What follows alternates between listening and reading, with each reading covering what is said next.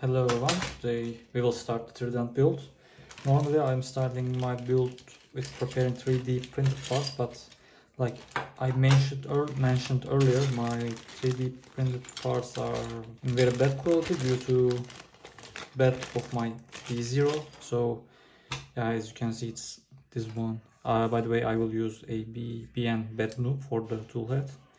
And this is the front part of it. And as you can see, it's this part is warped a lot. And yeah, basically quality is, yeah, if you can see, here is warped. Um, and quality is not that much good at this side. Yeah, some of them good, but yeah, some of them are a little bad. So my idea is I will put together all the parts and and also by the way another thing I couldn't print skirts for example because it does not fit on the bed. So my idea right now is putting all the parts together.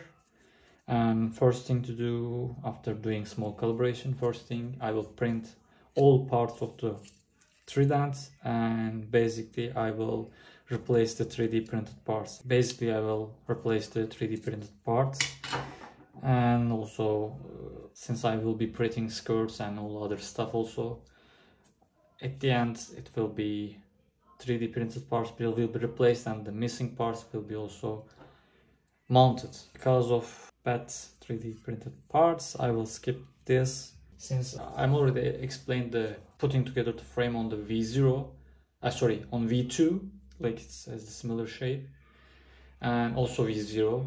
I will not be going on deep. I will just mention mentioning some different parts from the V2, and um, others will be just most probably time lapse, and the most important thing is having a flat surface. For that I'm using IKEA glass shelf. You can use glass mirror or countertop in the kitchen and uh, another important thing you need to have clean cut and these holes needs to be drilled in the middle in the widthwise so we will need eight of these pieces for 220 millimeter which has tapped on both sides.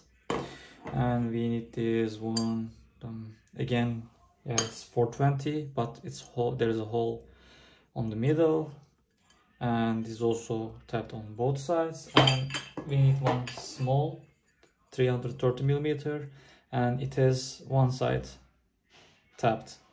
This is for yeah back.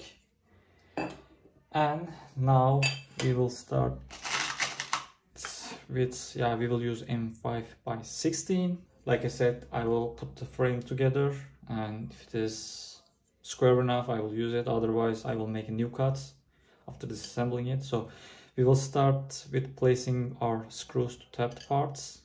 So let me prepare it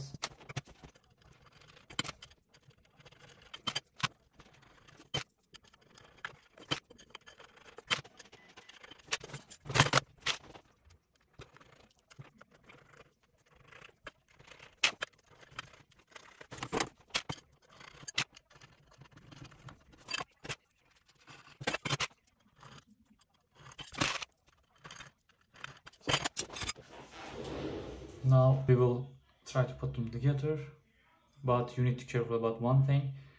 There is a one extra hole in here so you need to be careful about the orientation of this because there is no other hole on the other side.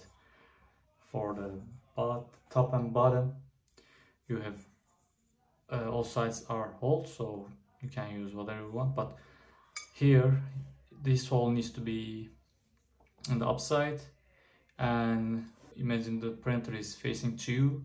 The holes needs to be facing to you also because you will, we will place uh, another extrusion in here so it will be like that. I will not use any machine square or something. I will just use the flat surface that I found and that's all. I will push them all extrusion together. So with that I'm hoping it will be will be square enough. So let's see.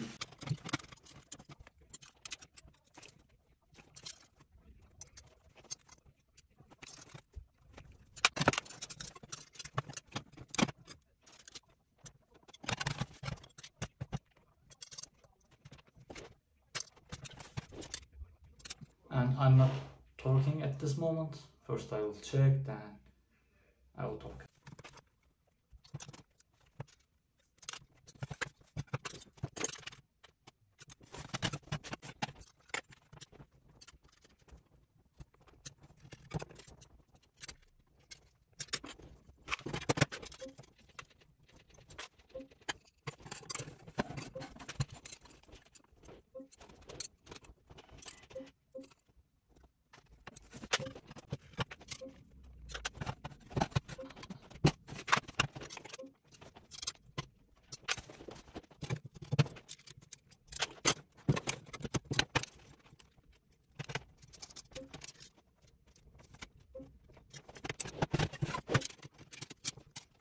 I put frame together as you can see and I measured the diagonal distances for all six sides. Difference is less than one millimeter. So that means the cuts are clean enough. So right now, according to diagonal distance, right now the this frame is on square. And for what you need to be careful about while you are putting the assembly. You need to be careful about these holes where you are putting the gantry's frame. So these holes for the back end for the front and back should look the same side. And it's same for the right side also. And this frame is back on our printer. So that means there should be no hole in this side in the gantry level. The hole is this side from this side. And you need to be careful about the orientation of this hole for the hole. And remember that the shorter part needs to be empty in the back.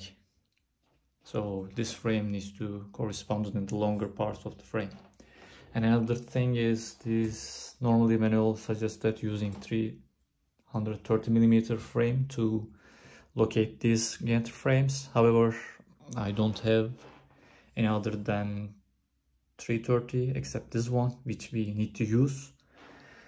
Uh, so I basically use the machinist square for that. So when I put the machinist square on the top, so uh, I, I tweak this one's position once everything is finished.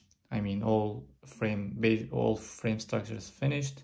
After that I tweak this one's position, the gantry's profile position. So I'm put I put the my machine square like that and as you can see it is in the 13 centimeter so the zero is here and the it's positioned on 13 centimeter.